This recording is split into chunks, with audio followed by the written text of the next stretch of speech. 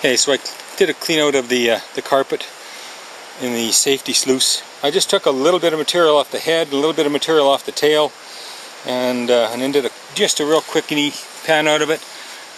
A lot more gold than I had hoped to see for a safety sluice. Um, I was hoping that the G1 would catch more of this. And uh, yeah, I may need to go back to riffles and carpet, or I don't know what.